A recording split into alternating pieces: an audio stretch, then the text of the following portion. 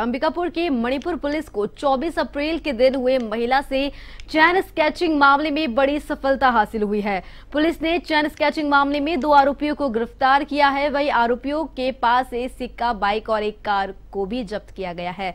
दरअसल भट्टी रोड निवासी पति पत्नी स्कूटी में पर सवार होकर ग्राम लक्ष्मीपुर जा रहे थे। तभी बाइक सवार अज्ञात बदमाशों ने महिला के गले से सोने के चैन को छीनकर फरार हो गए थे।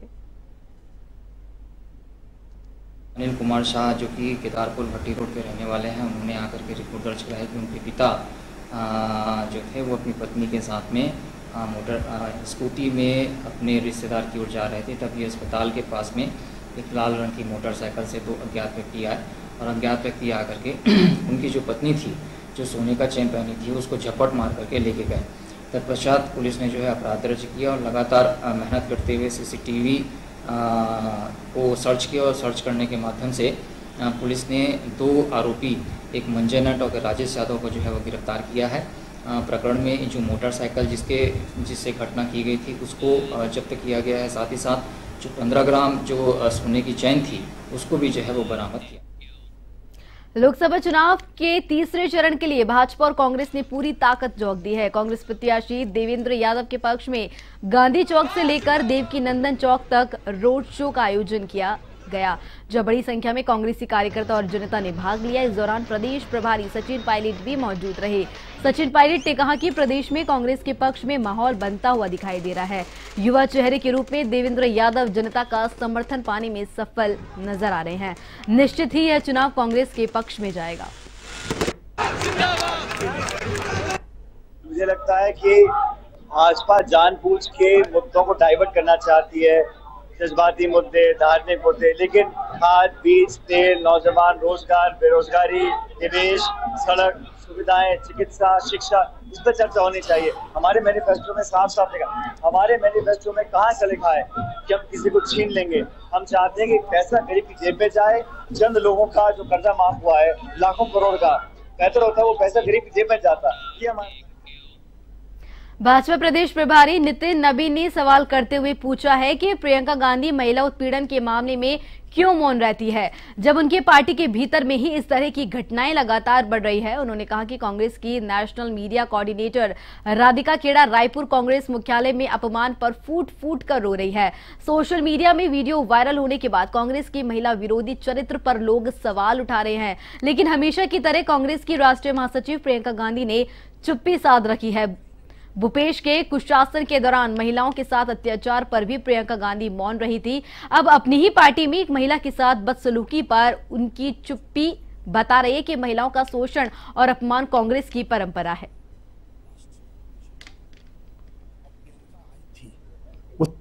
यहाँ कांग्रेस के राष्ट्रीय अधिवेशन हुए थे और प्रियंका आई थी, उस समय भी महिलाओं के उत्पीड़न का मामला आया। उन्हीं के अंगरक्षक के द्वारा आया और का, काफ़ी चीज़ें आप लोग के ध्यान जब उनके यहाँ रेड कारपेट स्वागत किया जा रहा था उस समय भी उन्होंने महिलाओं का अपमान किया। और आज उनके पार्टी में फिर से एक मामला आया है। और उनके राष्ट्रीय प्रवक्ता के साथ महिला उत्पीड़न का विषय और महिलाओं का अपमानित करने का विषय आ रहा है।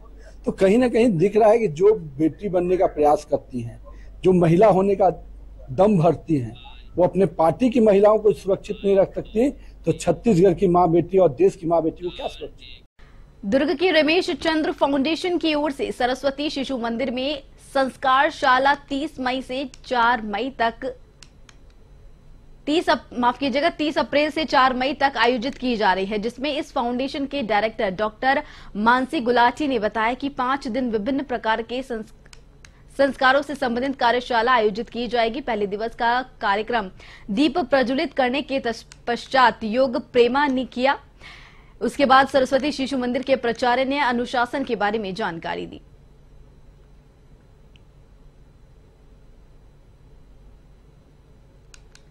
ये जो संस्कार चल रही शिशु मंदिर में यहाँ छोटे छोटे बच्चे जो आए हुए हैं अभी हम देख रहे हैं कि मोबाइल से बहुत ज़्यादा फ्रॉड हो रहा है और बच्चे अपने पेरेंट्स से मोबाइल यूज़ करते हैं तो उनसे उनको चलाते समय क्या सावधानी रखनी चाहिए वो बताया गया।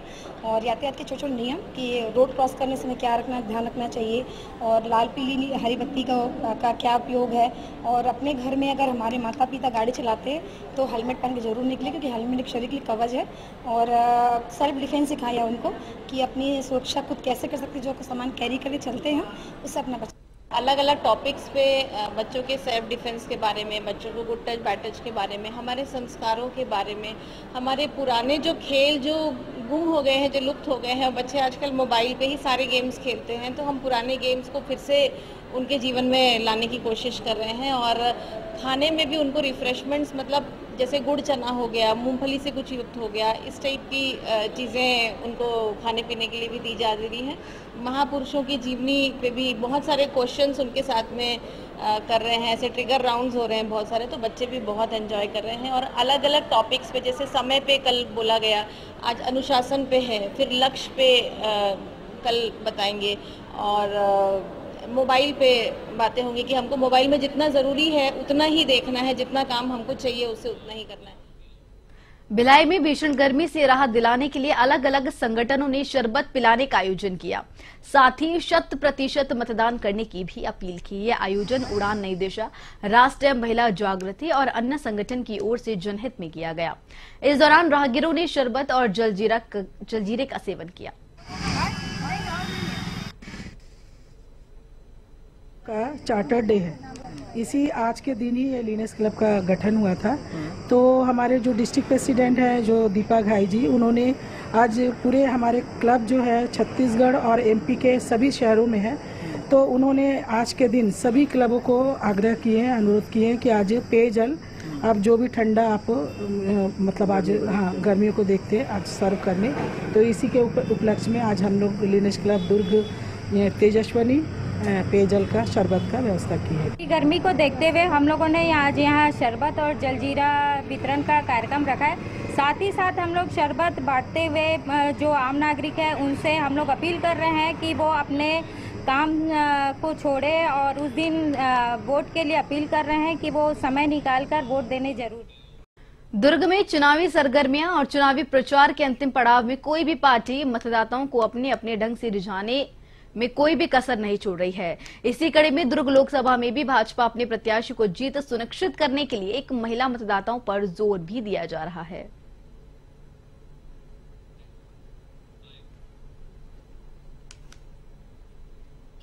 अभी हमारे तेरह मंडलों में, हमारे दुर्ग जिला के तेरह मंडलों की क्या बात करूँ मैं? पूरे हमारे दुर्ग लोकसभा में, तैंतीस मंडलों में हमारी महतारी बंधन सम्मान लभारी, लाभार्थी जितनी भी बहनें हैं, उनका सम्मान किया जा रहा है। उसके लिए हम लोगों ने सम्मेलन रखा है। क्योंकि हमारे बहनों का कहना है कि जब से मोदी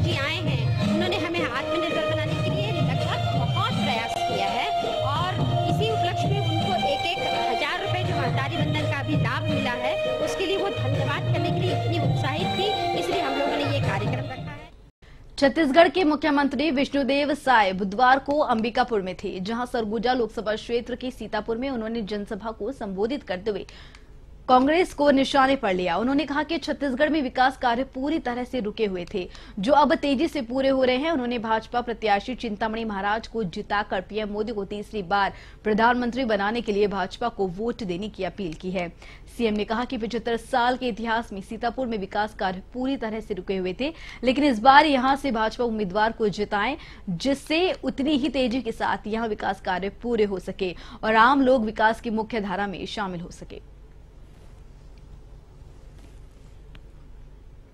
आज यहाँ सीतापुर में सीतापुर विधानसभा क्षेत्र का चुनावी ये सभा था, जिसमें धूप के बाद भी भारी संख्या में मतदाता भाई बहनी हमारे देव दुर्लभ कार्यकर्ता यहाँ पर पधारे और सब में बहुत उत्साह है और यहाँ के मतदाताओं ने पचहत्तर साल में पहली बार भारतीय जनता पार्टी को जिताया है। एक कर्मठ श्री राम कुमार टोप्पो को विधायक बनाए हैं और तीन महीने में ही छत्तीसगढ़ की सरकार ने बहुत सारा विकास का काम यहाँ पर स्वीकृत किया है। पिछले 75 साल में जो यहाँ का विकास रुका हुआ है, आने वाले समय में उसको निश्चित रूप से द्रुत गति से हम लोग पूरा करेंगे और आज जो उत्साह है यहाँ कार्यकर्ताओं में, निश्चित रूप से जो बढ़त यहाँ पर मिला था विधानसभा चुनाव में, सत्रह हज़ार का हमको लगता है कि लोकसभा चुनाव में ये बढ़त दुगुना हो जाएगा। भारतीय जनता पार्टी के वन मंत्री केदार कश्यप ने कांग्रेस की राष्ट्रीय प्रवक्ता राधिका खेड़ा के साथ कांग्रेस प्रदेश कार्यालय में हुए दुर्व्यवहार मामले में राधिका खेड़ा के ताज़ा ट्वीट को लेकर पूर्व मुख्यमंत्री भूपेश बघेल पर तंज कसा है।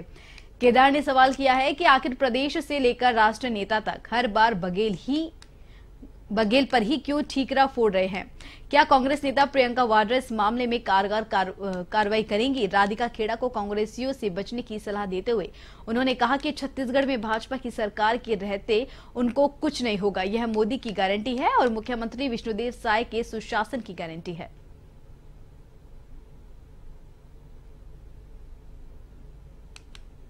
भारतीय जनता पार्टी की सरकार छत्तीसगढ़ में है।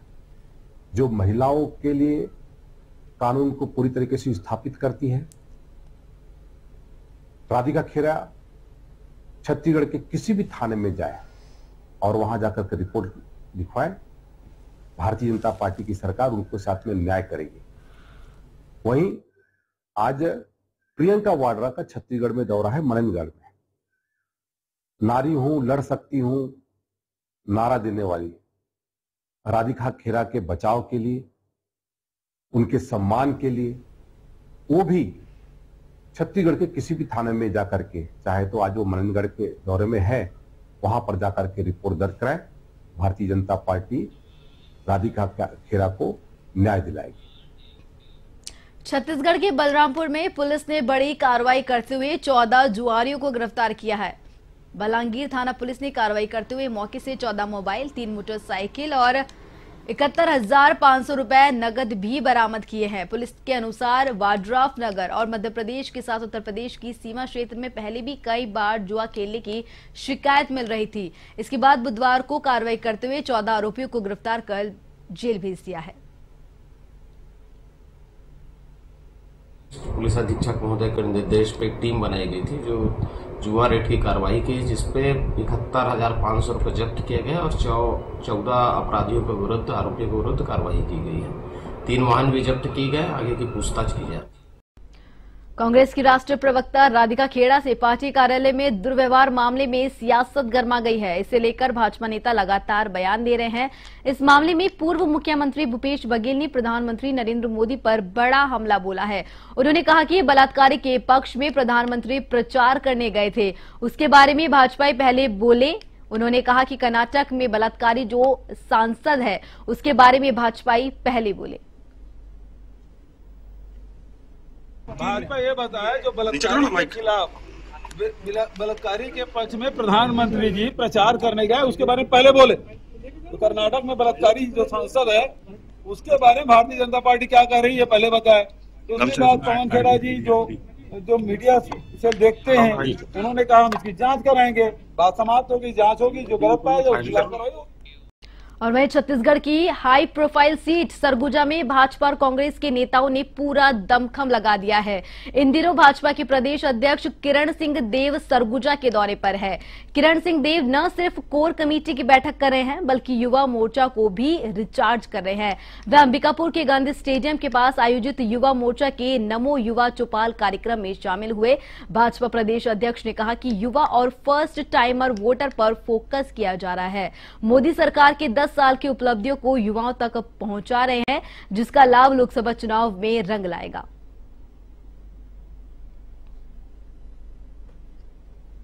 पूरे देश में भारतीय जनता पार्टी युवा मोर्चा के नेतृत्व में और ये युवाओं को लेकर एक युवा चौपाल की अवधारणा एक कार्यक्रम नियोजित की गई है। आज उसी क्रम में अंबिकापुर के मेरा सौभाग्य है कि युवा हमारे भाइयों के साथ बैठने का उनके बीच में विषय रखने का एक अवसर मिला है। हमारे जिला अध्यक्ष जी ने और युवा मोर्चा के और मंडल अध्यक्षों ने उनका सम्मिलित प्रयास बहुत ही सराहनीय, बहुत प्रशंसनीय है। इस लोकसभा चुनाव के दृष्टिकोण से भी सारे नीचे तक युवा चौपाल का कार्यक्रम चल रहा है।